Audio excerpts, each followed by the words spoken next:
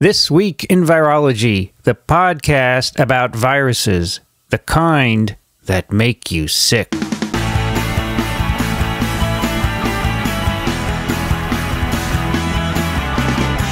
It's time for This Week in Virology. This is a special episode recorded on July 30th, 2014. Hey, everybody, I'm Vincent Racaniello and you are listening to TWIV, the podcast all about viruses. We have a special episode for you today. We're coming to you from Montreal, Canada. We are at the 16th meeting of the International Congress of Virology. This is a really big meeting. It's actually held concurrently with the microbiology meeting, and it happens every four years, I think. Do you know? Three years. And I've got the privilege to come here and record a TWIV in front of an audience of TWIV fans, I presume. And uh, needless to say, uh, this is the world's most popular virology podcast. I, I defy anyone to dispute that. So I've got two guests today who are speakers at this meeting. We're going to talk about something we really don't talk about much uh, on TWIV, and that is viruses in the ocean and uh, viruses of insects. So viruses that infect rather small uh, organisms. So I'm really happy to welcome on my left from the University of British Columbia, Curtis Suttle. Welcome. Thank you. Thanks for joining us today. And all the way on the other side from the Institut Pasteur. Very good. Carla Sale. Welcome. Hey. and for Carla, we will have subtitles, right? Yes. You have to speak a little louder, else I can turn your mic up. Let's see, your mic number three. Uh, we need a little more volume for you. Okay. And we have an audience. We're still streaming in, although I don't see Darmody yet, right? Remember, I want you to bring him right up here so I can look at him and make jokes. And he's, he's a good, he's a good, uh, what is it? Uh, foil, foil, that's the word, right? It's a good foil.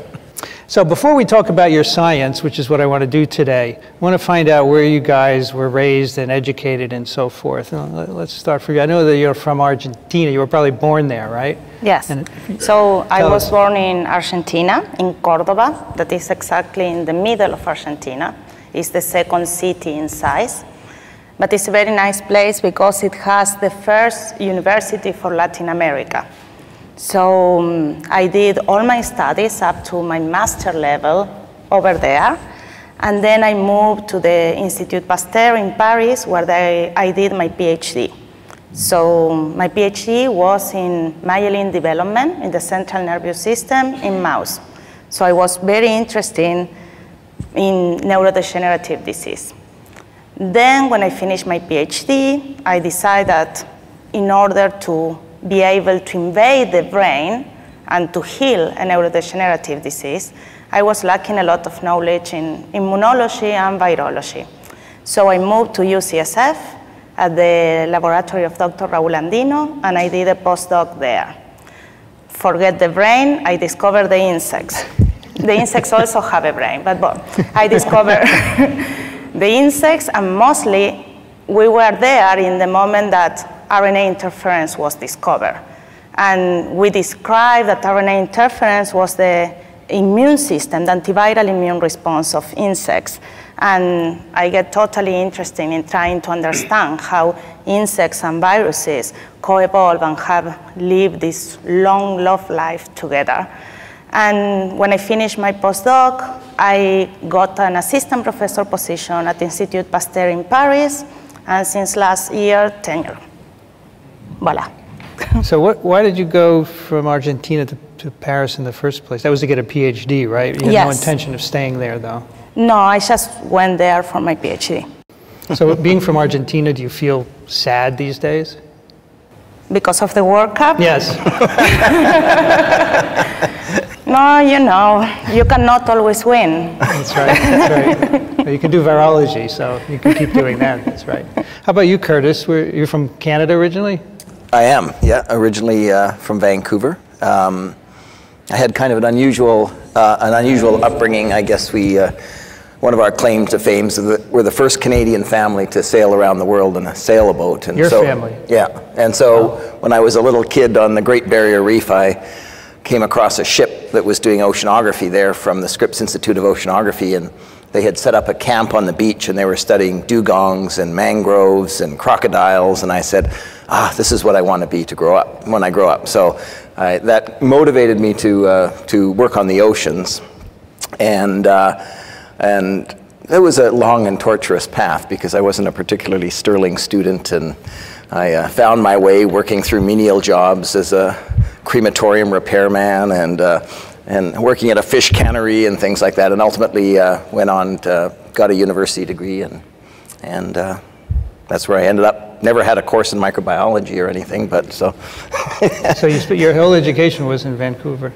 Uh, my undergraduate, I got an undergraduate degree in zoology and a PhD in botany there. And uh, uh, for my postdoctoral work, I went um, to the State University of New York at Stony Brook uh, to work with uh, Jed Furman, who's a marine microbiologist. And yeah, and then uh, took a position as a assistant professor at University of Texas and was there for eight years, I guess. And then one day I got a call from British Columbia asking if I'd be interested in coming back there. So that's where I ended up back in British Columbia again. So you spent some time in the Northeast. That's not, Stony Brook's not too far from me.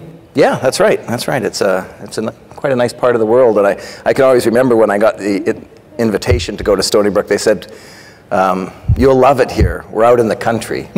and uh, so my perception of the country was changed because in a 30 mile radius of where I lived, there was more people than all of Canada. So, yeah. yeah, yeah, yeah so uh, as I said, we haven't talked about what either of you have worked on uh, in your laboratory, so that'll be a little bit of fun. And maybe we could start with you, Curtis. Uh, I remember hearing you at a meeting in Germany, was it last year? Gave a talk. And one thing you said that struck me was at some point in the past, I don't remember how long ago, we thought the oceans were pretty much devoid of microbial life. Is that the right statement I'm recalling? It, it's certainly at one point, um, I, people always recognized that microbes were there, but they thought they weren't very abundant and, and probably not very important. So um, they got short shrift, and, and typically um, classical microbiologists studied them, mm-hmm. Uh, growing things on plates and characterizing them biologically and physiologically. Yeah, and, what, so, yeah. what changed our view of the abundance of microbes? There was really, uh, what changed our view of the abundance of microbes, there's really, all of these things happened, I guess, in the mid 70s. And um, uh, to start with, they started using epifluorescence microscopy to look at, at uh, staining nucleic acids. And when they did that, they, they found um, uh, all these particles, DNA positive particles in water, and, and some people were arguing that they were bacteria. But even before that, in the 60s, there were some really provocative experiments where uh, one of the great grandfathers of marine microbiology, I guess, was measuring respiration in the ocean, and he and he would come back with these data and said that 90% of the respiration in the ocean passes through a one micron filter, and everybody would say. You should learn how to filter water, right? And then so this fellow Larry Pomeroy, just an amazing guy, ended up publishing in you know the Indian Journal of Oceanography and things like this because nobody believed that that uh, you could have all of these that 90% of the respiration in the ocean would pass through one micron filter. And because there was no corroborative evidence that time, because if you tried to culture bacteria in the ocean, you usually got about two cells per mil or three cells per mil. And it turns out now the average concentration of, of living bacteria in the ocean is in the order, we know is in the order of 10 to the fifth to 10 to the sixth um, prokaryotes per mil in seawater. And, and so uh, that came together and, and also the ability to measure, uh, use radio tracer experiments to look at uptake and microautoradiography. And it took about a decade before people really started to believe that there was microbes in the ocean that were important and living. And uh, probably about 20 years before it started making its way into some textbooks and it's kind of the same mm-hmm. path that we're on with viruses now. so, at what point did you enter this field? Was it established that there was high density microbial life in the ocean? Yeah, so when I finished my PhD, I was actually working, uh, uh, I was a phytoplankton physiological ecologist, I guess, is, and I was very interested in what controls populations and, and what controls population structure and, and so at that time, my PhD supervisor, a fellow called uh, Paul Harrison, who's well known in, in the field of phytoplankton work, Um, but he was working in the same area that his PhD supervisor had worked on, and, and, I was, and it, was, it was getting to be a kind of an old field, and I was trying to think of, well, where could I go? And, and there was a, fellow called Farouk Azzam uh, at Scripps Institute of Oceanography, and Jed Furman was, was one of his PhD students uh, who had been at Stony Brook relatively recently, and I thought, well, boy, people are just beginning to think bacteria are important in the ocean, and, and why don't I go work with somebody that, that's doing this kind of work? So that's how I ended up uh, getting in, at least starting to get my feet wet in, in uh, so microbiology. Speak, so to speak, right? Yeah, that's right. And moving from freshwater into seawater, because my PhD work was actually in freshwater. freshwater. So, beside, so are prokaryotes the by mass the bulk of what's in the ocean? Yeah, absolutely. About 90% of the living material in the ocean by weight, which is remarkable, is prokaryotic. And I always stress this because it's not obvious to people that, that these microbes produce half the oxygen on the planet. Um, and it's 90% of the biomass, and most people aren't even aware they're there. And, and so the discovery of bacteria and uh, has really changed our perception in terms of global geochemical cycles, or bacteria in the ocean and how important they are, has changed our perception on global biogeochemical cycles, what's going on, and then the fact now that we recognize that viruses remove about 20% of that standing stock every day, uh, that's where we start to sort of look at the ecological importance of viruses in these systems. I think in one of your papers you say whales are great, but they're pretty meaningless. Yeah, that's right. I have to be careful. Depending, you know, the charismatic megafauna uh, are important, and uh, but not in terms of uh, global biogeochemistry. Yeah, yeah. So aside, aside from prokaryotes, which is the bulk, what else is there that we can't see? Well, the, the protists in terms of biomass are about, they're in about the same amount of carbon if you, if you look at in terms of carbon. So the bacteria, there's about five uh, teratons of carbon in bacteria in the ocean. And the viruses and the protists are the second most abundant in terms of living carbon in the ocean, and they're both about the same, but they're, um, uh, they're considerably less. Okay. So how did you get interested in the viruses uh, in the ocean? You said you were interested in the, the effect on controlling populations? Yeah, I, have been very fortunate. I went uh, to work in Jed Furman's lab, and I was I wanted to take some ideas from freshwater, and I was actually studying amino acid cycling in the Sargasso Sea, which is this uh, subtropical ocean off of Bermuda. And uh, Jed had a PhD student working in his lab, Lita Proctor, and uh, she was doing her PhD with Jed, and, and she was discovering all of these viruses uh, in seawater, and she was looking at them with electron microscopy and, and recognizing that um, it looks like that they're very important mortality agents. Uh, her and Jed published a really nice paper in Nature. And so when I took up my assistant professor position at Texas and you're sitting in your laboratory and you're saying, well, I have an empty lab and I guess I'm supposed to do something, right? and so I thought uh, there was a lot of circumstantial evidence that viruses are likely important uh, in infecting the protists. And the protists are major players in the primary production in the world's oceans. There have been kind of three papers published. There was one in the 1970s that uh, a fellow called Max Taylor had published a nice paper in Nature showing that viruses were infecting a small, very ecologically important uh, microalga. And, and, they published this, this wonderful paper. And, uh, and when I came back to UBC, he came up to me because he was at UBC, and he said, would you like a reprint? Nobody ever asked for one, right? because there was just no context to that. So he published a nice paper. There was reports in the literature of autolysis of phytoplankton blooms.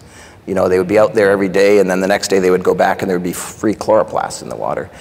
And so, and so they said they don't know why that happened. And then the third observation was quite a few electron microscopy images in the literature of little cells that were packed with icosahedral particles. And so it seemed like those three things together said, well, maybe maybe viruses are important in, in regulating uh, the protistan uh, phytoplankton out there. So, so we actually went and tried to repeat the experiments of Max Taylor because the viruses were all thrown away because nobody wanted them. And They were all pouring, poured down the sink. And, and uh, we went and the first experiment we did worked beautifully. And then from there we ended up being able to isolate a whole bunch of uh, new viruses from seawater that people hadn't seen before, which infected uh, major primary producers. So as a result of being in Jed's lab, meeting Lita, she was discovered all these viruses infecting the, the prokaryotes there. So we started working on the, um, on the protistan viruses and, uh, and kind of have been steaming along since then. So can you tell us how you discover these viruses? I guess you have to get on a boat and sample, right? Yeah, so we do lots of things like that. We, we go on boats and you get water. Um, so there's a couple of things that we do. But if we're trying to isolate new viruses, then we essentially do bioassays. So if you have a target that you're interested in, and so we typically try and pick something that's important for some reason. It's either ecologically important or somebody's interested in it. And then we will we go out and we concentrate virus communities from seawater typically. So we'll take 200 liters of seawater, uh, filter it through a bunch of filters to get rid of the big stuff like bacteria, and then we'll take the remaining uh, particulate material and concentrate it about a thousandfold by ultrafiltration. So we'll take that 200 liters of water and, and concentrate it maybe down to 200 milliliters. And those concentrated virus communities then we can use to inoculate cultures and see if we can get lysis. And, and we archive those communities. So we've got about 3,000 of these virus communities collected all over the world now, from, from Southern Ocean to the Arctic Ocean to, uh, you know, deep sea samples from two or three kilometers deep. And so we can go back and we can interrogate those samples mm -hmm. to try and look for mm -hmm. infectious viruses. So you can go down just a few kilometers. You don't go below that? Um, you can. I mean, the, the, trouble is on a ship, uh, wire time is expensive, and and uh, and so you got to send big bottles down to great depths, and and these ships are sometimes tens of, tens of thousands of dollars a day to operate, and so if you're going to sit out there, it might take four or five or six hours to do a to do a bottle cast down to. Uh, to those depths of the ocean. So you don't do very many of them. And the second part of that is pretty much all of the major ecological processes are happening in the upper 200 meters of the water column. And so if you're really interested in where everything's happening, you know, where the active infections are and things like that, we, we typically look at the, the upper, upper 100 meters, 200 meters of water. So the, the famous number of what, a million viruses per teaspoon or something like that, per milliliter, that's mostly the upper reaches of the oceans? So the lowest concentration of viruses that we find almost anywhere in the ocean is a million per mil. Lowest. Yeah, okay. and so the rest are up in the order of about 10 million per mil. So coastal waters is 10 million, offshore in, in the very nutrient deplete regions we're sort of a million. Maybe in the deep ocean we're five, 500,000, 700,000, but typically around a million per mil. And then you go down to hydrothermal vents and those are actually fountains of viruses that are just mm. spewing out into the ocean. It's amazing. They're spewing out of the vent. Yeah, yeah. Because so there's something in because there. Because of all the microbial life that's around the vents. And, and you can actually follow these plumes of viruses in the ocean for uh, 20, 30, 50, 100 kilometers. You can just wow. see these plumes of viruses that are coming up. So, so I was looking at some of your papers, and you have this cool thing called a rosette. Ah. Tell us about that. What's not a flower, right? Yeah. It kind of looks like a flower, perhaps, but, but it's just, a, so a rosette is, is just a, basically a metal frame in which we can, we can put bottles that we can trigger at any depth uh, electronically. So it's, it's actually pretty cool. So you can get a, these rosettes, if you can imagine a big round frame with, with a bunch of uh, it looks like a Gatling gun, if you know what that thing is, with, with little barrels all the way around it. And you lower that into the ocean. But as it goes down in the ocean, we can measure all the oceanographic properties in real time. So we can do salinity, temperature, chlorophyll even, and, and oxygen as it goes down. So we can get uh, a profile of the water. And then so we lower it down as deep as we want to go. And then once we've decided where we want to sample on the way up, we just fire bottles and, and it uh, opens them up. And it, yeah, yeah they go down open, and then they, it closes them, right? And so we can grab right. water, or we can fire multiple bottles at, at any given depths. It's much better than the old days when I started as an undergraduate and used to have to actually lower these bottles on wires that went down, and you actually had to manually send down what's called a messenger. Mm-hmm. And you had to pull these bottles off the wire as they came up. And of course, once you get below about 200 meters or so, the water temperature is four degrees or, and, and colder. And mm. so, so you're freezing hands as you pull these bottles off. So the rosette uh, certainly simplifies things. This is not your usual laboratory microbiology. I mean, I've seen some movies of people sampling. You can have rough weather, and these rosettes are big and they're dangerous if they bump into you, right? They certainly can be. So yeah, there's there's uh, uh, and there's often and they're also incredibly expensive, right? So you so you're you're throwing over the side of a ship in a storm, you know, sometimes maybe a half a million dollars worth of gear. And uh, it's yeah, all yeah. very counterintuitive, right? and, and hoping that you'll be able to pull it back on board. And some of the, the most interesting stuff has been sampling the Arctic Ocean, where, where we actually had an icebreaker frozen into the ice for a year up there. Well, it was frozen for about six or seven months. Uh, I had a graduate student, Jerome Payette, who's from a tropical island in the Indian Ocean, and so it seemed like a, a great place for him to spend Christmas and New Year's up for, in the complete darkness for three months. But, uh, but that kind of thing, again, where you have to lower these things through the ice and bring it up, and the ice closes around the, you know, there's all of these kind of logistic issues that can be quite challenging sometimes. And then you bring it, all this stuff back to the lab to do your culturing and sequencing and so forth. Well, these ships actually have if you're on a real oceanographic ship, you know, they're out there for months at, at a time, and, and in some cases, and they'll, they have very, very well-equipped laboratories on board. So you have wet labs and dry labs, and, and, and if you're in a polar region, they'll, they'll be able to usually bring the, depending on the ship, bring the rosette into an enclosed room, which you keep at about four degrees or something like that, or uh, just above freezing. And, uh, and then you can do all your sampling in there, and so you can do all your processing. Um, sometimes people take the actual molecular biological tools, but but high voltage equipment and seawater aren't terribly compatible. so, so, so, sometimes you yeah, don't really yeah. want to have, you try and eliminate, or also ultracentrifuges don't go very well on ships either. So there's certain things that just don't, you don't take on ships. But a lot of the stuff we can process on mm -hmm, ships now. Mm -hmm. And we'll try and get the samples uh, in condition that we can take them back to a, a onshore laboratory and do yeah. standard kinds of things. I presume you lease these ships. They're owned by companies that do this for a living, right? They're mostly government ships, and so they're highly competitive, um, and uh, you know, and they're expensive to operate. I know the icebreaker that we were on burned 20,000 liters of fuel an hour when we were breaking ice, right? So, so you can imagine that's uh, uh, not an inexpensive operation. Has a crew of 40 or 50.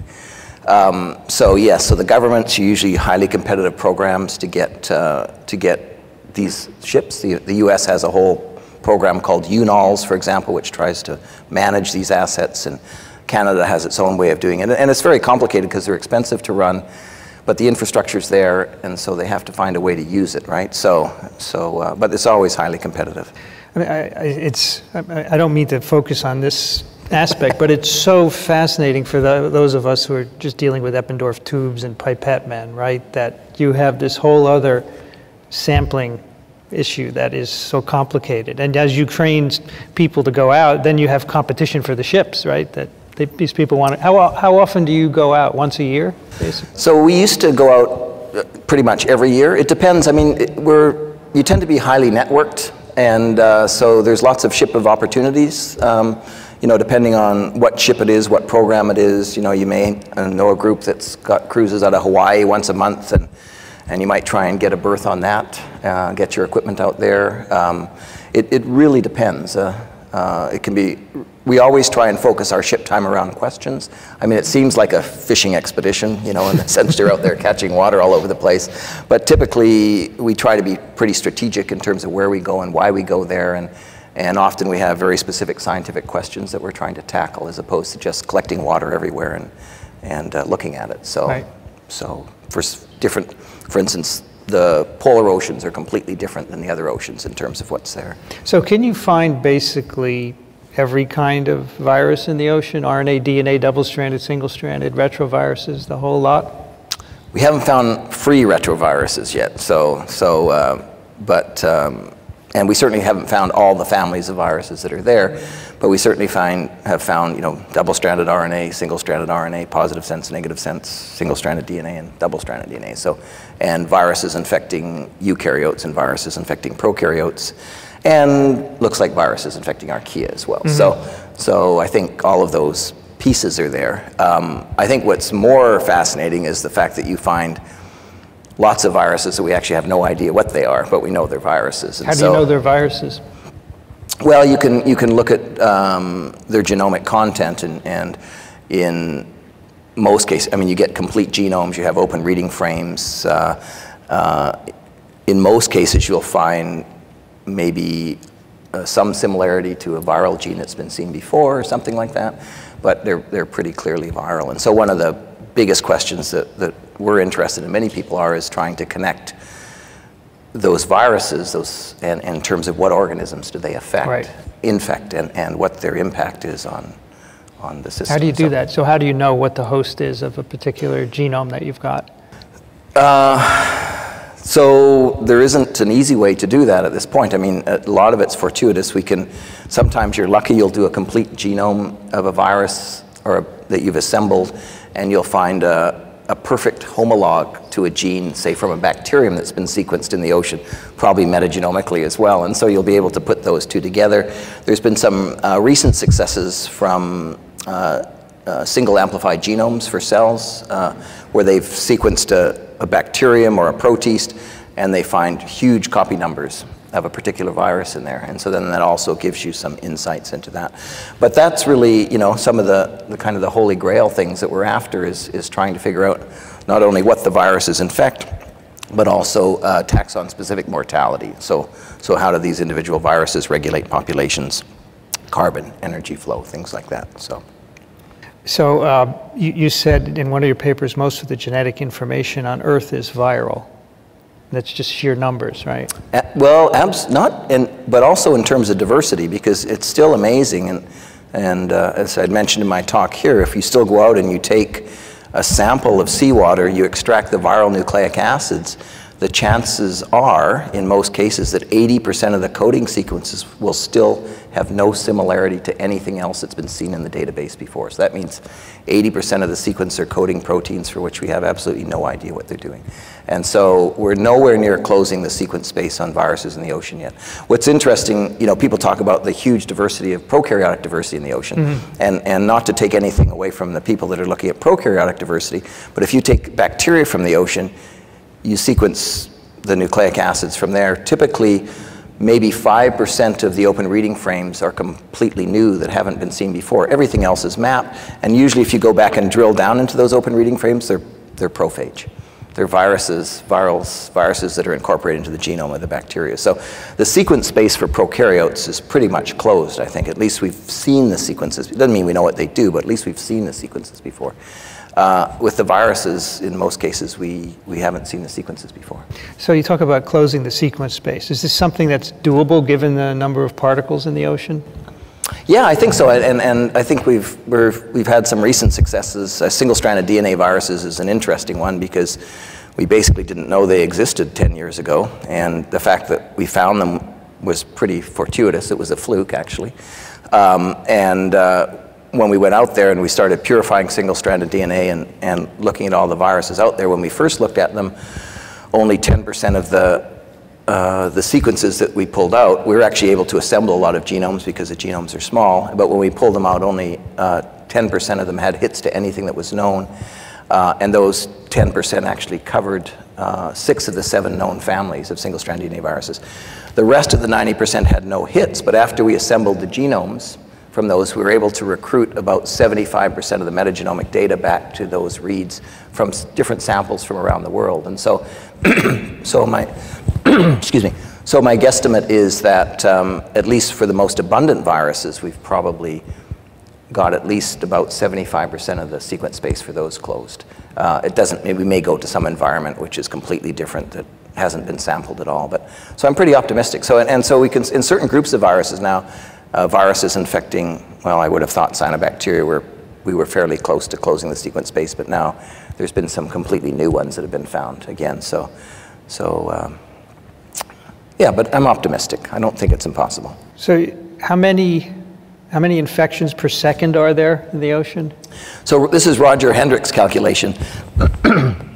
And his estimate is about uh, Avogadro's number per second, so about 10 to the 23rd infections per second, right? Which makes sense based on what we know about the mortality. So if you back calculate that, that's, that's about right. So in terms of infections, the number of human infections compared to that is trivial. I would assume so. so most of what goes on, and, and I want to get to this in a moment, but these infections have an important role in, in the Earth's cycles, right? Tell us a little bit about what these infections are doing. Yeah, well, they, they're important in a whole bunch of different ways. I mean, one of the things that's interesting is, is that there's a whole group of these viruses which infect cyanobacteria, for instance, which encode some of the major proteins for photosynthesis. So when they infect, actually the cells, cellular photosynthesis is shut down and viral photosynthesis spins up, right? So, so you see those kinds of things which are, which are kind of unexpected. Um, but if you look at just the, um, the movement of nutrients that that come about as a result of viral lysis. It's really remarkable um, because they actually generate much of the primary productivity that's going on in the ocean. We did some experiments uh, many years ago with uh, Stephen Wilhelm and um, Marcus Weinbauer when they were postdocs in my lab, and these are environmental virologists now that are quite well known. And we went out into the Gulf of Mexico, found a, a bloom of Synechococcus and said this is a, which is a small cyanobacterium which produces about 25% of the primary production in the world, actually. And, uh, and so we said, here's a good place to look at what's the effect of viruses on these. And so we found was completely the opposite of what we were expecting. When we took the viruses away, photosynthesis stopped and uh, uh, we couldn't understand what was going on. It was 20 years before we finally published this paper because I wouldn't let it get published until we had a mechanism, right? And so it turns out what's happening is viruses are infecting the heterotrophic bacteria. The heterotrophic bacteria are lysing and releasing the organic material. That organic material is taken up by other heterotrophic bacteria. But because the stoichiometry, the amount of carbon and nitrogen in a bacterium is pretty much fixed at about four to five um, atoms of carbon for every atom of nitrogen, and the other bacteria feeding on it, they don't have enough carbon, they have too much nitrogen, and so they deaminate the nitrogen, spit out the nitrogen. The primary producers are short of nitrogen, they take up the nitrogen, and that stimulates the primary production, and they produce more carbon then, which feeds the bacteria. So, so it's, it's, uh, the viruses are completely greasing the wheels of, of these global biogeochemical cycles. The other thing that's really interesting, the way, the form that the nutrients are released is very different from viral lysis than, say, if you're eaten by something. So, for example, one of the other elements that's really short, in short supply in the ocean is iron.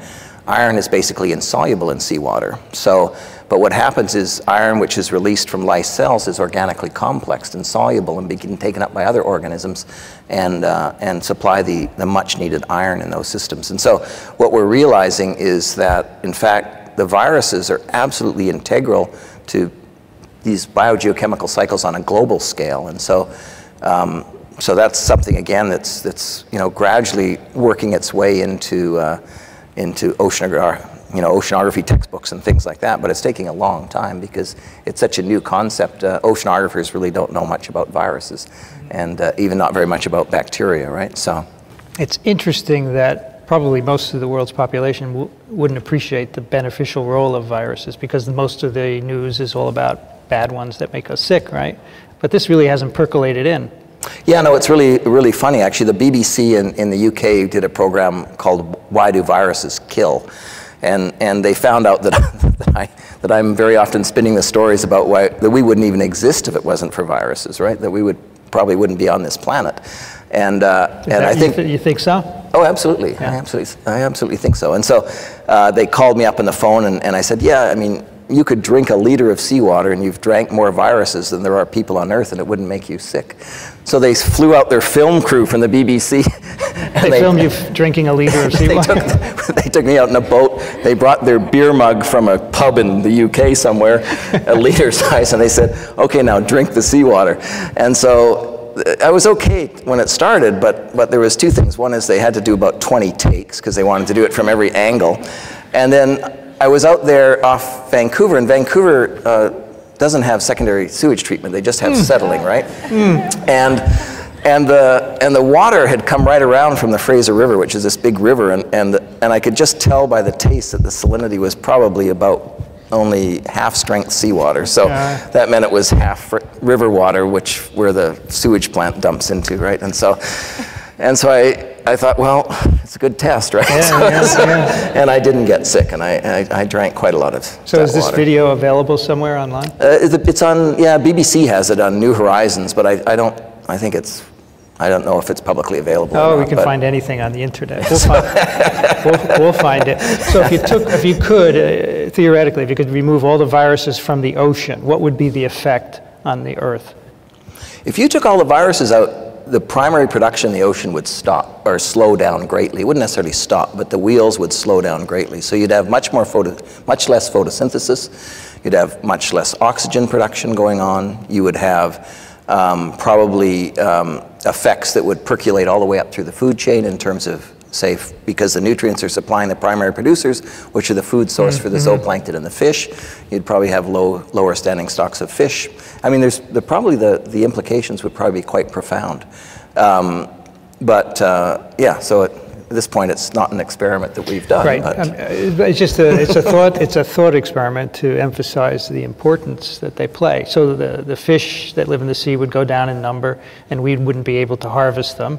So Yeah, I mean, that, that, because the primary production in the system would slow down, and, and, and essentially when photosynthesis is slowing down, then, then you're going to have, have large consequence effects. And, and, and it could have many other, it, it certainly would affect the balance, the, the, you know, the global geochemical balance of everything from, oceanographers think a lot about export production. This is a really big deal because we have a large buildup of CO2 in the atmosphere because of, say, anthropogenic effects that we're all aware of. I hope as scientists we're all aware that we have a big CO2 problem. And, uh, and the interesting thing is that that CO2 um, is dissolving in the ocean, right? So the oceans are gradually becoming more acidic. But that's also that, that CO2 in the ocean is what the primary producers use to, to grow. And what happens when the primary producers grow, um, the particles actually sink out, and that's called exported carbon. And once you, you're below about 200 meters, that carbon's trapped for about 5,000 years. And so uh, people look at that a lot because that's really important in controlling the balance of CO2 in the atmosphere and in the deep ocean. So the export production is really important. Now, viruses change the export production because they lyse cells and it doesn't sink. And you would think that that's probably a bad thing because the carbon's not sinking. So, but actually, the interesting thing is we have some papers that we've published because viruses affect the stoichiometry. Because, because phosphorus is highly mobile, nitrogen's highly mobile, carbon tends to be tied up in cell wall materials and things like that, which is much less mobile. So actually, I, my hypothesis is, and uh, we're still running experiments to try and test this, is that viruses actually increase the efficiency of what we call the biological pump because they recycle the nitrogen and phosphorus really quickly through cell lysis, phosphorus, nitrogen, and iron, but the carbon, which is tied up in cell wall materials and things like that, is not recycled easily and actually uh, uh, coalesces into larger particles which export. So I actually think you end up recycling the things that are important and exporting more of the carbon. So I think viruses actually are helping us with the, with the global CO2 problem as opposed to doing the opposite. So uh, the, the thing is that the scales of these things are so massive. I think that's what, what's hard to grasp. I mean, the viruses are so small and their interactions, it's just that they're so numerous. When you start talking about gigatons of carbon and things like that being cycled through this, what we call the viral shunt, uh, it has a massive impact. And we, this is something recently recognized, right? So what did we think happened before we understood that viruses were playing these important roles?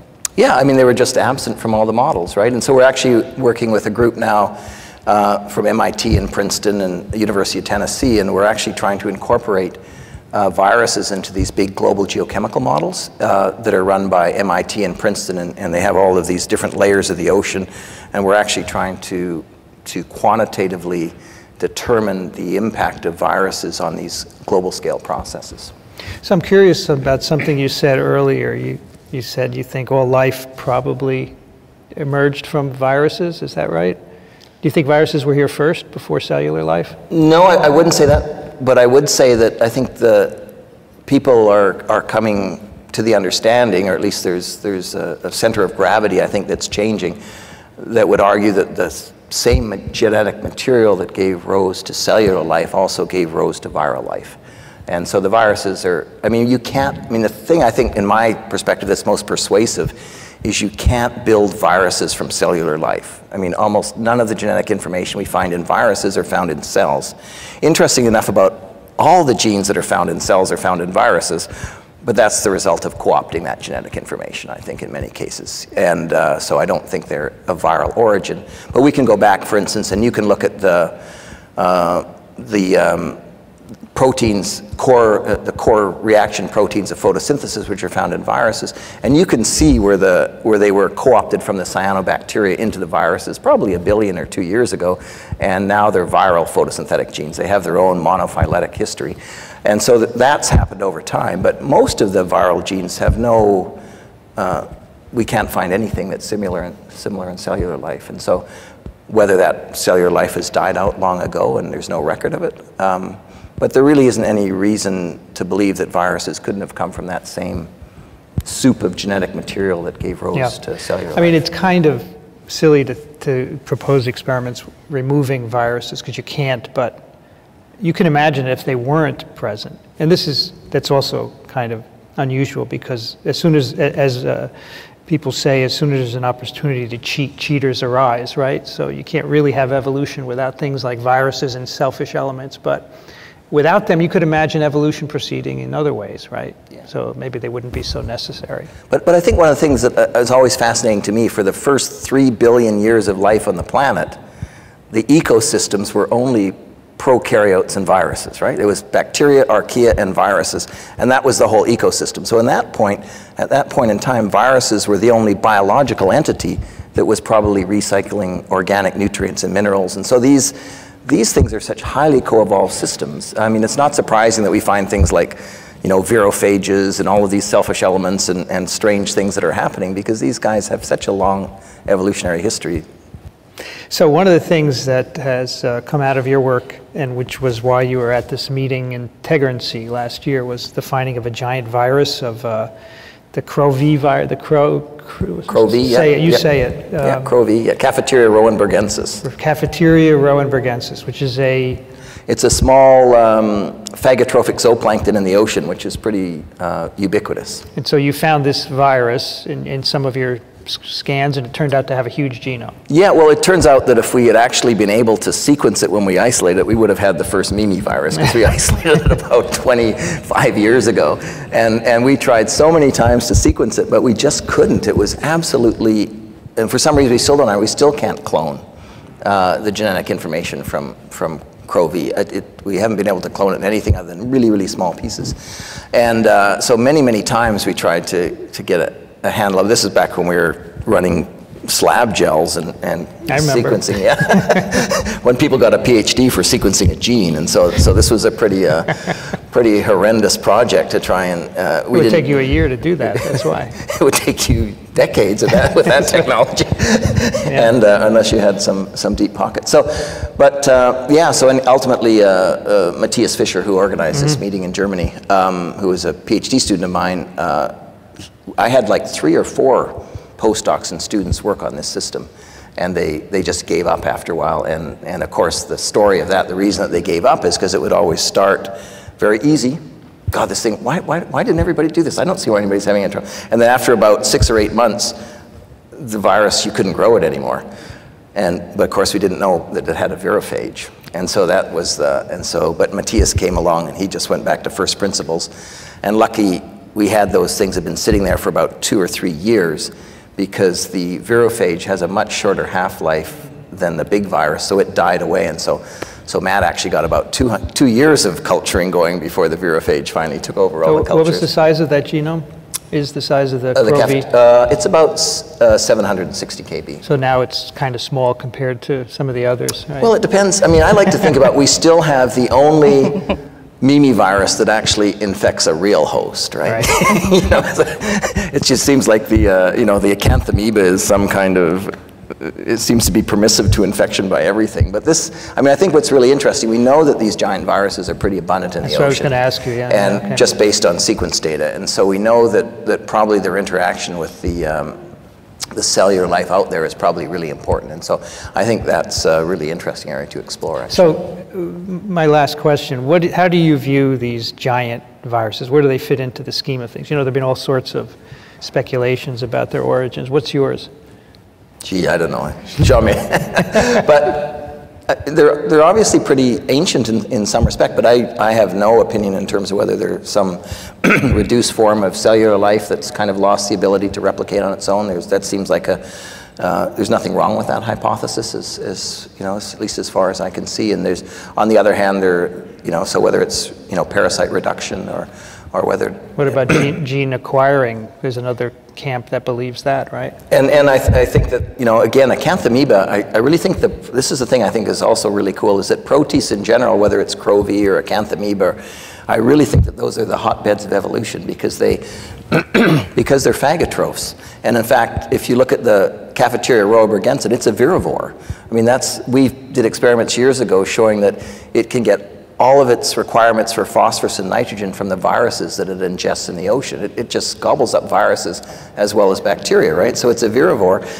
But if it eats the wrong virus, then it, it's dead. And, uh, and so, but what you see is you've got these food vacuoles that are packed full of viruses, they're packed full of uh, archaea, they're packed full of other protists. And so these things, once they're digested, you can just imagine that the opportunity for, for DNA to recombine. Sure, sure, sure. That's interesting. We had a question on TWIV from a listener, and they said, given all this biomass in viruses, does anyone eat them? And apparently the answer is yes. Well, in fact, we have seen zooplankton that only eat viruses. There appear to be absolute specialists, virovore specialists, right? And uh, so, yeah, I mean, it's perhaps not surprising in, in the fact that you, you think, it, I mean, it's a pretty abundant food source yeah, out there sure. at, at uh, you know, 10 million particles per mil. And if you can avoid being infected, it's a good food source. Right? Yeah, yeah, yeah. And, uh, so, Curtis, what's your next uh, sailing trip? Do you have one planned? So we don't have any, uh, any expeditions planned in, in the near future. So uh, uh, we have students that are, you know, they go out on ships when, uh, when, it's, mm-hmm. when required, but we don't have any major, say, oceanographic projects that we're, we're involved in right now. You have plenty of stuff in the fridge and freezers that keep you busy for a while? Yeah, we do. We have lots of questions and, and we're and uh, trying new method. We've always been big on developing new methods for trying to tackle these things. And so we've got a number of projects going on in that way. Terry Dermody just showed up. Hi, Terry. You missed the first half. You missed all of Curtis. I'm so sorry. oh, well, well. You'll have to listen to it 10 times over. By the way, oh, I just, I wanted you here because in my introduction, I wanted to tell everyone that Terry Dermody, who invited us to be here and who you're an organizer of this meeting or co-organizer or something, you fall asleep listening to TWIV. Last night I did. I've had other people tell me that too. And, I woke up this morning so thank you. That's why I wanted you here, Terry. All right, let's talk about viruses and insects. Now, you don't go out on ocean voyages to get specimens, but insects are pretty cool nevertheless. Now, you use Drosophila to study? Yes, so Drosophila is our insect model. Right. And our interest or, or the main question was like, insects perhaps are not as abundant as viruses on the sea, but it's almost 95% of all the terrestrial species described. And they are super important. They are very abundant. And we normally think at insects and these small stinky things, or they smell bad, or they bother us. But actually, without insects, life, it will be impossible. Oh, so if you took all the insects away, it, we will all die. like the viruses in the ocean. Wow. I, actually, it's part of the same story. So we mostly know the insects that do bad, but insects are doing a lot of good things, like just think only at pollination. That is, for example, bees pollinate at least 30% of the crops we eat. Um, mosquitoes, even if they are also mean, they pollinate a lot, you know? So they are essential for diversity in Earth. And there is one funny particular thing in insects, that is that they are persistently infected by viruses. I guess I cannot ask him a question, yeah, but I wanted can, to ask if, if your bacteria or if your prokaryotes are persistently infected or if you have mutualist infections. Yeah, I, I, it's a really a tremendous question, and, and, I don't know the answer to that. But we, we find, I'm, I'm convinced that there's a lot of mutualism going on because of the genes that some of these viruses encode, uh, um, they clearly affect the physiology of the organisms when they infect them. And there's a great story of a, a, a colleague who, who took a virus, exposed it to UV radiation for, in a way that's unknown. It became lysogenic, incorporated into the genome of the host when exposed to UV, and then started producing a dark brown pigment that protected the host from sunlight. So uh, I, am sure there's lots of those kind of stories. Is yeah. that the case for every virus insect infection? They all are persistent, or are there some that are pathogenic? It's depending on the insect. You can get acute infections, but most viruses has the capacity to circulate between acute and persistent infections. Okay. So, and one very interesting thing. Now, if we just think let, us concentrate in the insects that are the bad ones, the ones that are vectors for disease. So what makes an insect a good vector is to be persistently infected. So that is a concept that it's, it's not well explored, but actually, if you have an insect that is acutely infected, just imagine that you have the flu and you feel really bad. You cannot go to the party. So the insect, if it's very sick, cannot go and fly and find you and beat you. But now if the insect is persistently infected with no fitness cause, because really it's like the perfect relationship, so now the insect is in super good shape and become a vector because now it can fly, it can feed, and it can transmit the virus. So persistence is essential for the insect to be a vector. And without persistence, you will not have a vector.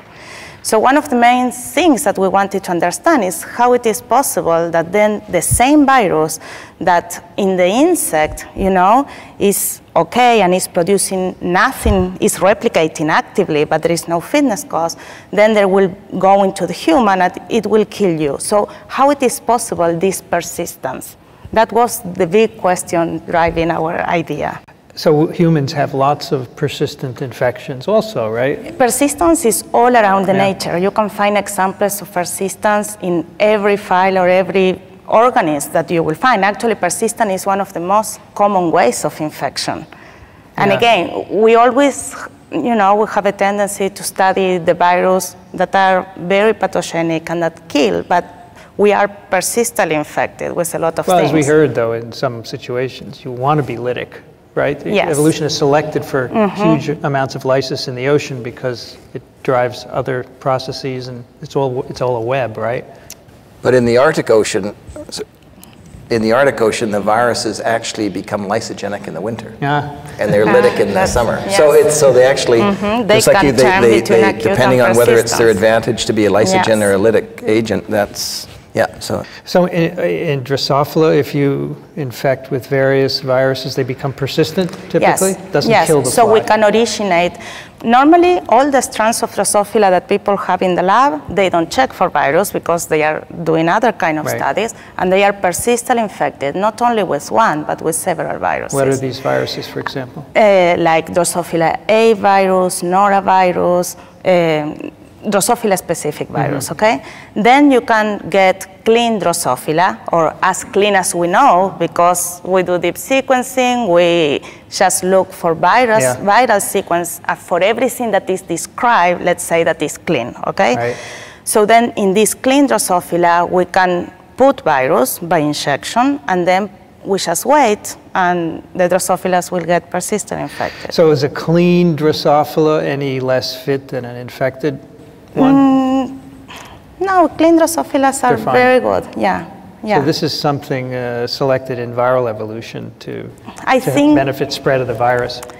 Actually, I will guess that perhaps we are not eliminating everything. Yeah. There is Ah. perhaps something that we don't know always there. Okay. okay. So now you think that the defense of the insect is in, in equilibration with the virus to give this persistent infection? Yeah, I right? think it's totally a mutualistic interaction. Like the virus and the immune system of the insect are working together in order to reach this persistence. Because then the insect can survive, but the virus have the time to transmit. Hmm. That is what the virus wants. Okay, so in nature, what's the main way that insects would acquire a virus infection?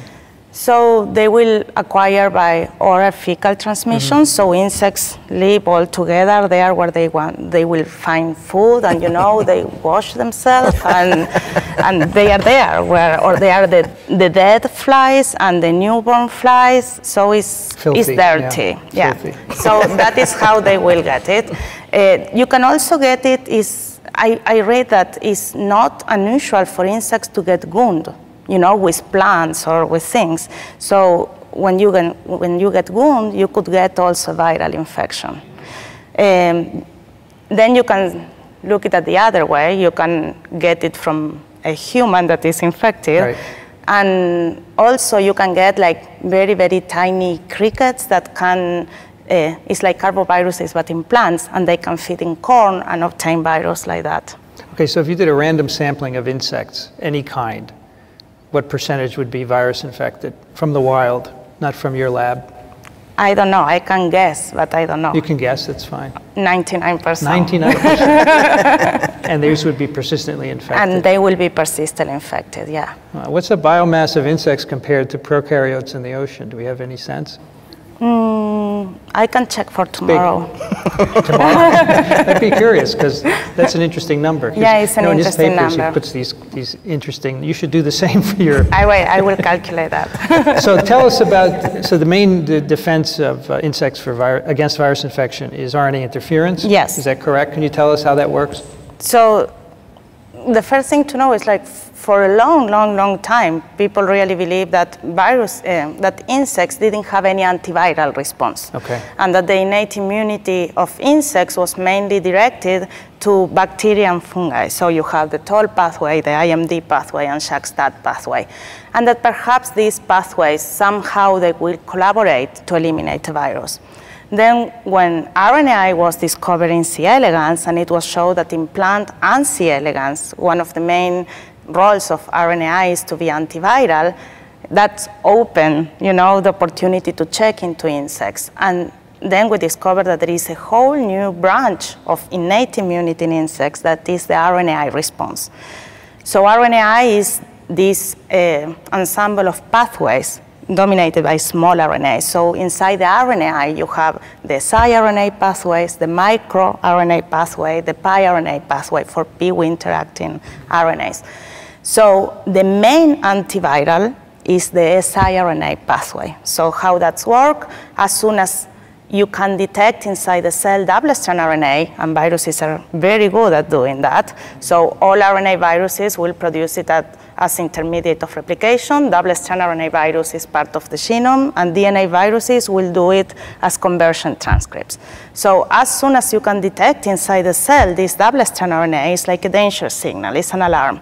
And then you have dicer, that is a ribonuclease, that come and chop it, and produce these so famous 21 siRNAs that change biology. so these siRNAs will get loaded into a complex that will scan the cell, the cytoplasm, until it finds something that is 100% complementary. And as soon as it finds it, it will cut it. So okay. normally what will be complementary is the viral genome. So you will hinder replication. All right, so the, the effect of the siRNA is to direct cleavage of the viral genome. It's not the siRNA that is cleaving, it's AGO2. So yeah, in this complex, the nuclease, there right. is a um, protein called AGO2 that is the, the heart, right. okay, the core, and it will load and it will cleave. Now you said something before, when the double-stranded RNA is produced, it's detected. Yes. Now what, what is detecting it? it is the, the uh, dicer detecting it, or is it something dicer else? have double-strand RNA binding domains. It's, a very, it's very good at finding mm. double-strand RNA and binding this is domain. in the cytoplasm all the time? Is the, the cytoplasmic localization of the RNAi machinery is quite obscure and very variable depending on the papers you read. So they tend to be in the cytoplasm, not very clear where. Yeah. Sometimes they will be in the nuclei. You know, it's there is no clear understanding right. of subcellular okay, localization. Some viruses will make it in the cytoplasm, others in the nucleus, yeah. right? So it's got to be in both places. Normally, it's it's like accepted, no, that RNAi is the antiviral response is happening in the cytoplasm. Okay. By the way, I, in reading some of your papers, there are these really interesting names for genes in Drosophila, and one of them I came across is loquacious. Yes. So what is loquacious? So loquacious is, is a factor. So when dice are cut, yes, yeah. it, in order to go and load the RNAi complex where AGO2 is, it needs help. And help will be coming for R2D2 R2D2. Exactly. and we also have C3PO. C3PO. But okay, it great. will come in for R2D2 and loquacious. Okay, this is great. What other names should we know about? In, on RNAi? Uh, that are funny. Oh, you have tango, you have armadillo, you know. Tango and armadillo. Yeah. This is great. and then there's hedgehog, right? That's, yes, that's the old. They are the very nice names Sonic hedgehog. This if you find a gene in Drosophila and the function, you are allowed to name it. This is probably why you work on Drosophila, because the names are so interesting. Okay, so let's say an insect gets in, so it ingests some virus and it goes to the gut, right? Insects have a gut tract and uh, it infects some cells, and those cells uh, mount this antiviral Response. response. Um, does that spread elsewhere in the animal to protect it? Yeah, so that is very interesting. The, the exact mechanism we don't know, but we know that the immune signal that we also don't know what it is, but let's assume that because it's an RNA-based immune system, the immune signal could be a molecule of RNA, could be an RNP, uh, okay? So if you infect, and let's say that you originate an infection in the gut, and then you check for the presence of um, the immune signal in the brain before the virus will get there, Right, right. you will find the immune signal there. What do you mean by immune signal? You mean like This thing that moves, and we don't know. So how we read it, we re- the readout is silencing. Okay? yeah. So you can get silencing. It's a complicated experiment. It's okay. We, So- we can take it. Okay, so let's do that. You get a virus that has a GFP, okay? Okay. So you have a green virus and you infect a green Drosophila. So a Drosophila that express GFP all Everywhere, over. okay. Okay? So then this virus will be mainly in the gut. Yeah? So day by day, you separate the head from the thorax. You kill your flies and separate the head of the thorax. And then you test for the expression of GFP, the endogenous GFP, in the head. And you see that in absence of the virus on the head, you have silencing of GFP in the head. okay. And that is because when the virus will replicate, the virus part of the genome now is GFP.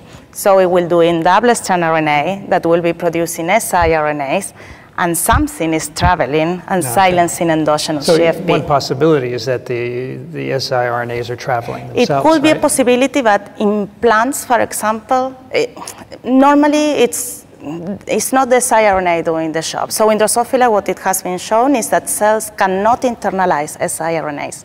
They can deal with long double-strand RNA. That has been shown for quite a lot of insects. It has been also been shown in shrimp. And in plants, you have different kind of movements.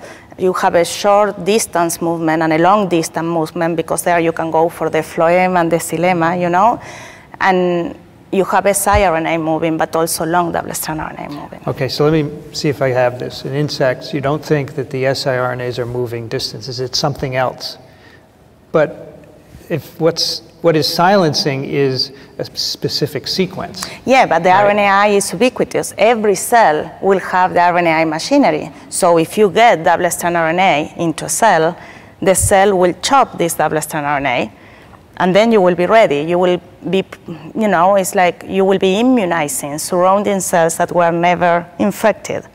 So the, the assumption is that the double-stranded RNA is spreading, Yes, or RNPs or RNPs. So they, they would have to get out of cells. somehow, or communicating between cells. Perhaps they can use junctions to communicate in between cells. And then they have to get into another cell. Because Yes. that specific antiviral sequence has to somehow go to the brain to silence GFP, right? Yeah, it's actually the GFP sequence of the virus that will silence GFP. Right. Because RNAi only work is totally Got sequence it, specific. right. And so that's a a big question right now, figuring out how this spreads, right? Yeah, so that is one thing that we have been working for years, trying to nail down the spread, to understand what is moving and how it's moving.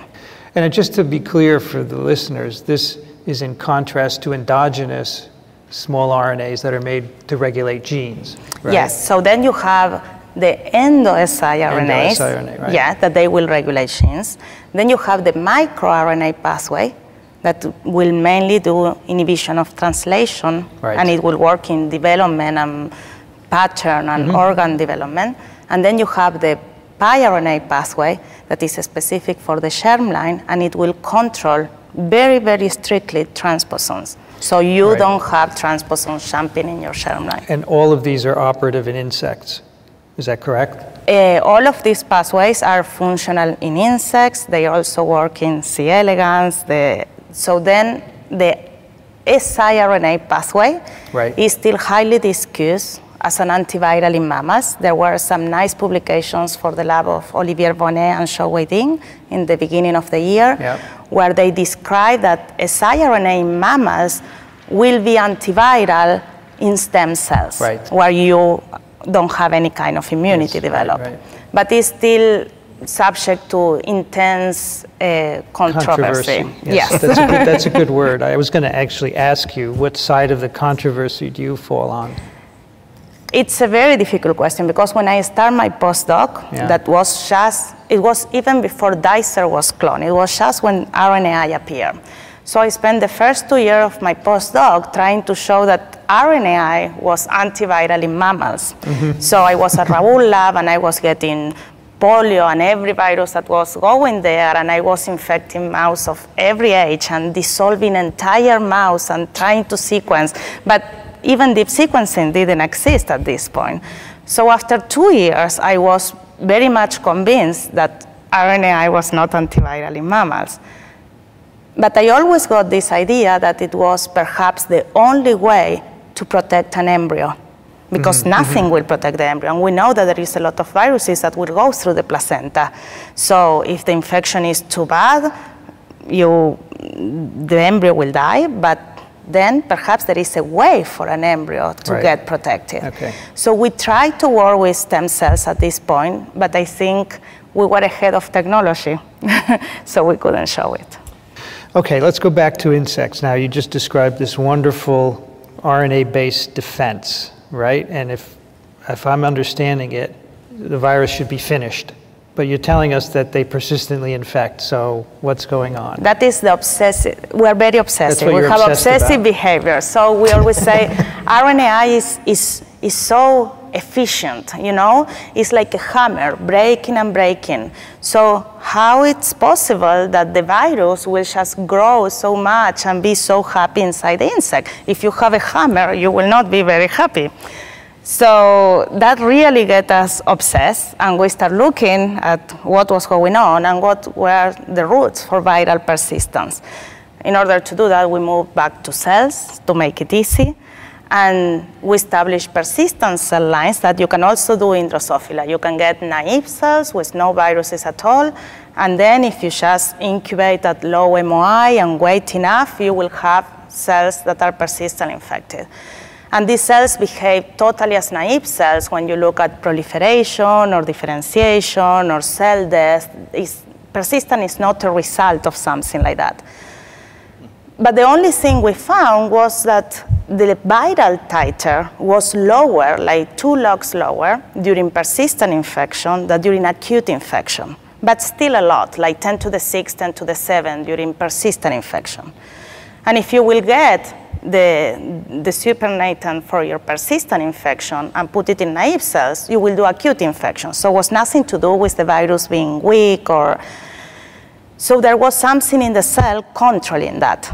Something in the cell that was not the RNAi machinery or because Dicer was working fine, AGO2 was working fine. So uh, something was If controlling. you knock those out, what happens to the virus infection? I If you, yes, if those- you knock so- down RNAi, the virus replicate like crazy, So and your cells will die. there, but you need something else in addition. It's something else. It's Okay. something more because in persistent cells, RNAi is working perfectly, but the cells are still infected. So there is something else. So at this point, we were kind of against the wall, you know, and we started finding all these papers of people talking that RNA viruses that are non-retroviral could persist in cells under a DNA form. So it, it seems that in the 70s, it was a big Russian school proposing Yeah. that. A lot of Russian people were studying that, like at the end of the 60s or in the 70s. Yeah. And then there are much more recent papers describing that. But nobody really believed these people. And so we say, you know, why not to test? We can also check if we have DNA and to tell the truth, you know, because that is a nice story that you say in a presentation. But we also got like a lot of RT-PCRs where the control, and we were sure how we were working, was positive. You know, the negative RT has a band. And we knew that we were working fine. That is when you really need to trust yourself and your postdoc, you know? but, and we did it and over and over and over, and we will have this one. And then we were doing a lot of deep sequencing to look at the siRNAs, and even though it's, you know, deep sequencing is not quantitative when you look at the siRNAs, but when you do a lot, you get the eye for that, and we can always identify siRNAs in the persistent cells that didn't appear during acute infection. So then we say, okay, let's check if we have DNA. And there we go, and we have DNA of every virus that we have a persistent cell line for. So this DNA is not the full length, it's a rearrangement, it's always shorter pieces of the virus. And then we say, This is integrated or, or free in the, it's, we don't know exactly if it's integrated, it's mainly episomal, but I think there is a possibility that one in thousand perhaps will integrate. That is what happened with VLPs, at least. So then we just check what happened if we don't have DNA. Perhaps there is a, a, a relationship between persistent and the DNA form of an RNA virus. So we use ACT to inhibit reverse transcriptases because our viruses, the tiny RNA viruses, they didn't have any RT. So the RT need to come from the cell. So we check our cells were full of RT activity. these are Drosophila cells, Drosophila right? cells, yes. And you can check, there is no difference if you get naive cells, persistent cell, acute infected cells. There is a highly um, a transcription for transposons, you know. So we use ACT and we could inhibit DNA, okay? So now we check what happened when DNA was not there anymore, and the cells switch for persistent to acute. So if you don't have DNA, you cannot establish a persistent infection. And the same would happen in flies. So now we did it in vivo, our flies also have a DNA form, and then if we do this long experiment where we feed daily our flies with ACT, you know, and then we challenge with the virus, only the flies where there is no DNA will die. So we have a selective way of eliminating the infected insect, what is super cool. But still, it's telling you that the DNA is important for persistence, but it's not telling you what is the link because we start talking Yeah, about yeah. RNAi. So then we found that all our pieces of DNA, viral DNA, were in the, in the genome of Drosophila, they were with LTR retrotransposons, okay? So we have these hybrid molecules transposon virus. And then we found that this transposon was getting transcribed, highly transcribed, was producing double-strand RNA, and double-strand RNA, as I told you, as soon as it's detected, is cleaving siRNAs. So we were having much more abundant and much more different siRNAs than during an acute infection. So if now you have more siRNAs and more abundant, your antiviral response will be enhanced and you will control better viral titer.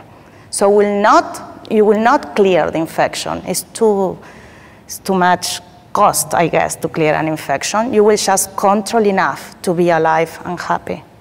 So these uh, retrotransposons have been in the genome for Ever. a long time. Yes. Probably before other viruses evolved to challenge the insects. So the insect uh, immune system evolved with them and, and uses them to help, Yes. right? So in Drosophila, there is highly transposition in somatic cells. That Yeah, is yeah. described.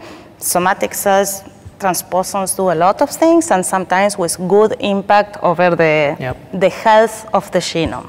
So there is a lot of genome plasticity.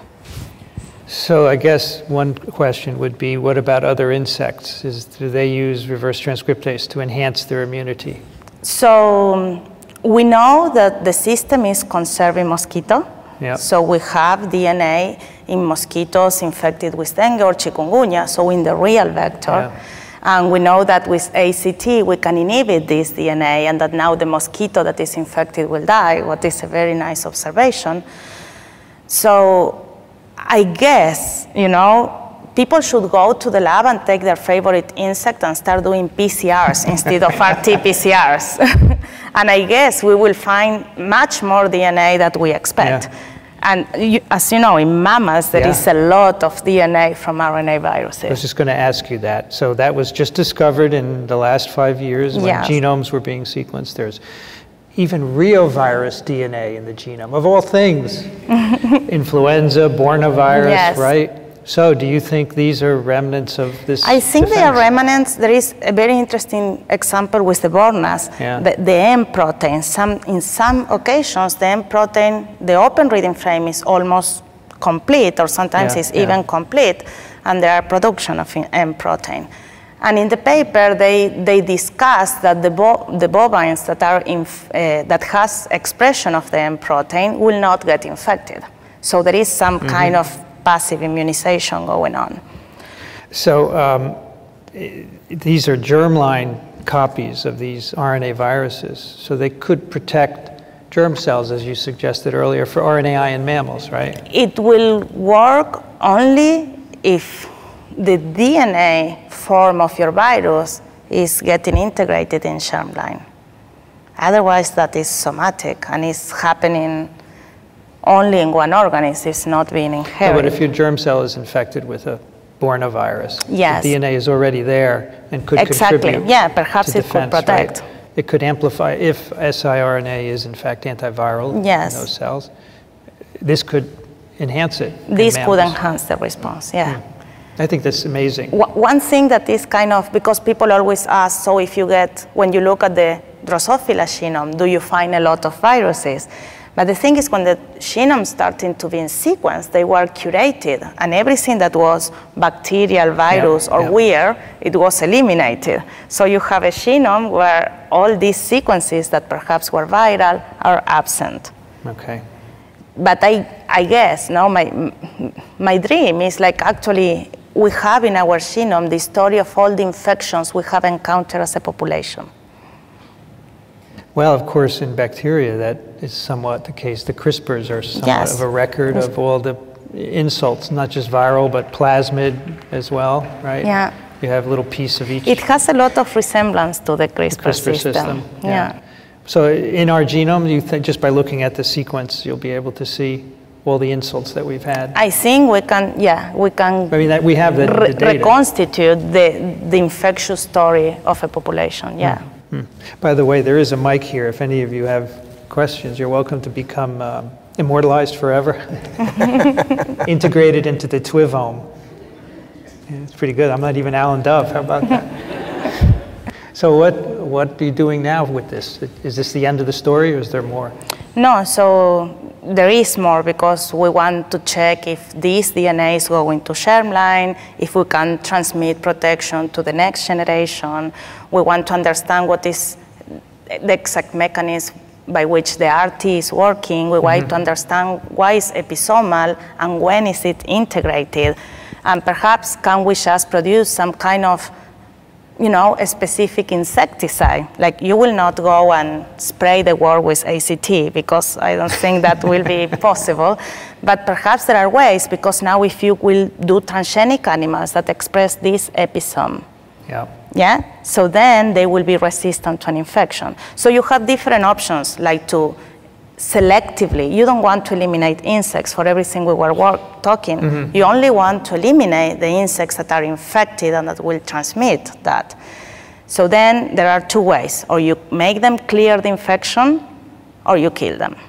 But in your case, in your case, the the uh, amplification by RT doesn't eliminate the infection. No, it just it maintains, control the it controls it. infection. Yeah. So the question would be, say, in a in a arbovirus, um, if you reduce the viral burden below a certain point, is that enough to prevent transmission, or do you need to get rid of it entirely? Right. It can be, it, can, it cannot be the only method you can use to Yeah, control. right. It needs to be combined with a lot of things. else, but sure. like I always say, in the absence for years and years of vaccines for arboviruses, you know, like we don't have still a solution for dengue or nothing like that, we need to start thinking at, at the previous step, that is control the vector, but control the vector in a smart way.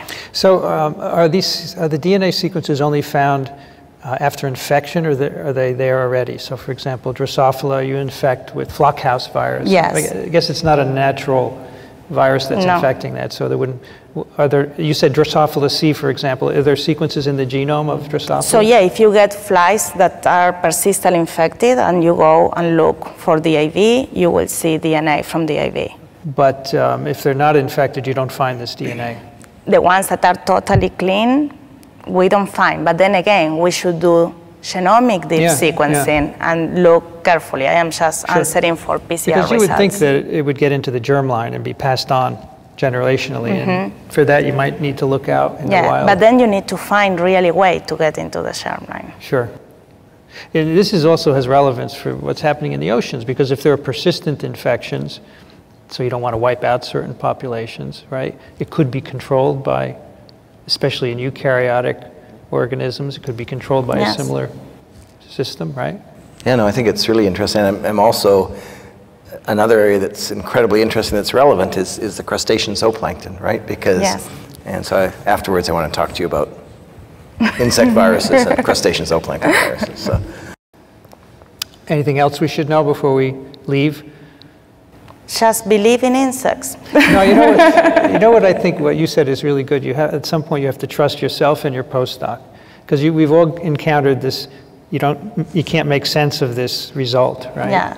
And sometimes we throw it away, and sometimes we do other things. It was a very hard because it was just when I was starting my tenure track. So Yeah. people will advise me and say, "Stop doing that. You will kill your career. You cannot do that." But I believe in what we were doing, and I think really that is important. important. You know, what you said earlier is very interesting. When I was a graduate student, these papers were published saying that there are DNA copies of RNA viruses in cells. And you're right, nobody Believed them, it yeah. Because we didn't understand the extent of endogenous sequences, retroviral sequences, that there were RTs. This is probably even before RT Yes. was discovered. Yeah, perhaps 70s. And Right. a lot of these individuals, their careers went nowhere, but they were right. They were because right. Because now we know that cells have reverse transcriptase in them. But unfortunately, they've left the field a long time ago. It's really too bad. And there's something to be learned there. But it's way beyond me, so I won't try. Anyway, um, thank you both for doing this. I want to wrap up this episode of TWIV. Uh, This one will be released in the next few months. Um, you can find TWIV at twiv.tv. You can find it at iTunes. And uh, if you like what we do and you want to help us, go to iTunes and rate the show or give it some stars. That really helps us a lot. And we love getting your questions and comments. We answer them usually on our episodes. You can send them to twiv at twiv.tv. I want to thank my two guests uh, for joining me today Curtis Suttle from the University of British Columbia. Thank you. Thank you so much. I've been wanting to have you on TWIV since I heard you in Tegrency, so this was a great opportunity. I appreciate it. By the way, do you get seasick? Only if it's really rough. Well, okay. Then you just have to throw up between experiments and you come back. And Carla Sally from the Inst- Institut Pasteur, thank you so much. Thank you very much. Two great stories here, and uh, it's just things we don't n- normally talk about. So I really welcome the opportunity to do this. I want to thank Terry Dermody, who is still here. He hasn't left.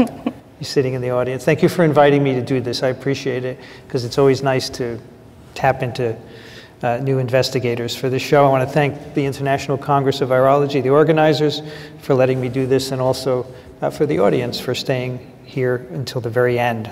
I'm Vincent Racaniello. You can find me at virology.ws.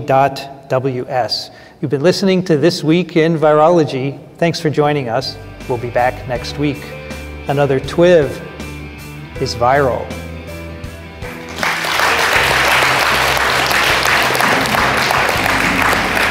Thanks, guys. Thank you. That was great. No, thank you very much.